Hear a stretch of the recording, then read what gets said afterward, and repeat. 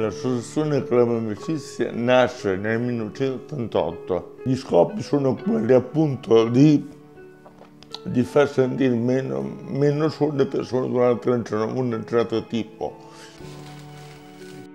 A tal fine abbiamo, abbiamo, abbiamo un'attività di cucina a mezzogiorno che fa sì che le persone non si trovano più sole nell'ambito familiare.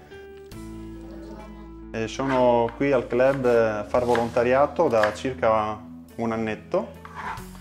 Qui all'interno del club ci sono varie attività, una fra queste è l'attività di cucina che si svolge il, prettamente il mercoledì e il venerdì.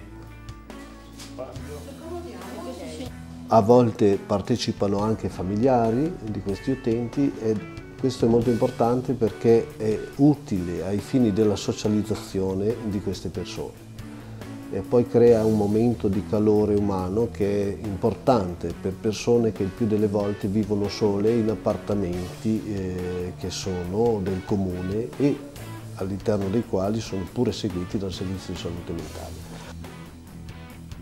Io sono un volontario del Club Amicizia, sono un ex infermiere eh, del servizio di salute mentale, mi occupo oh, della gestione economica, raccolgo diciamo, le quote di autofinanziamento che i soci di questa associazione elargiscono in occasione della mensa, che è un servizio che viene eh, dato quotidianamente dall'associazione ai soci frequentatori. Il Club Amicizia, essendo un'associazione di volontariato, ehm, nell'anno 2006 ha messo in essere quattro progetti che sono stati la ceramica, un corso di nuoto e un corso di pittura. E poi dal 2004 ehm, gli operatori collaborano anche per un laboratorio teatrale. E poi facciamo così.